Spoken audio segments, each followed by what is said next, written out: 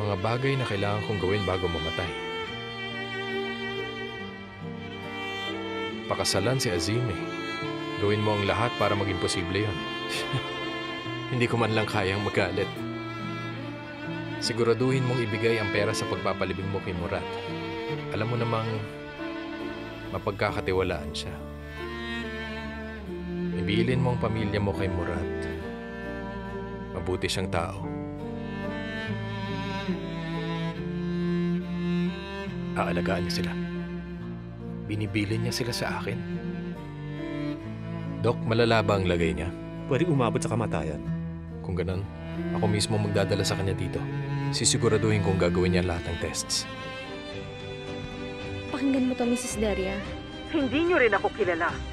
Hindi ko sana yung ginawa kung may kinatatakutan ako. Hindi ko sana kayo inutusan pasukin ang bahay ko.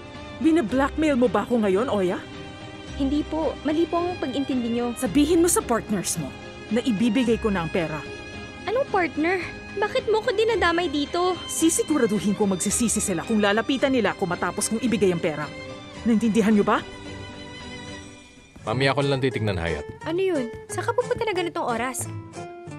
Nagtatanong ka ba bilang partner ko o bilang asawa ko, Hayat Sir Silmas? Bilang partner mo, syempre. Pasensya na. Hindi naman nagtatanungan ng business partners tungkol sa private matters. Wala ka bang 3 minutes para sa akin? Wala, tapos na ako sa trabaho. Kung ganun, si Tuval at Mr. Emre na lang tatanungin ko. Emre, Maraba. Maraba? Mera ba? dadalhin ko pa lang sana mga drawing sa'yo. Gusto ko malaman ang opinion mo. Eto ba ang mga bago mong drawing? Evet, Halika, punta tayo sa showroom para discuss. Tingnan na lang natin sa office ko. I can spare a few minutes. Tara na. Aba, aba. Nakikipagkompetensya si Hasmet Kimura at Hersilmas. Nawala na sila sa sarili nila. Ang cute nga nila eh. Ano nangyari? Buksan mo na ang machine.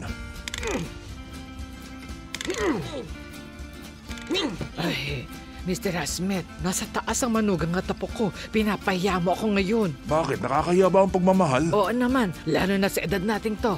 Maaaring sumobra ako ngayon dito pero hindi ko ba karapatan ang hingin sa iyo ang sagot sa tanong ko. Ang sagot ko ay hindi.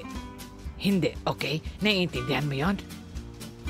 Hayat, weeknights at 9, exclusively on ETC.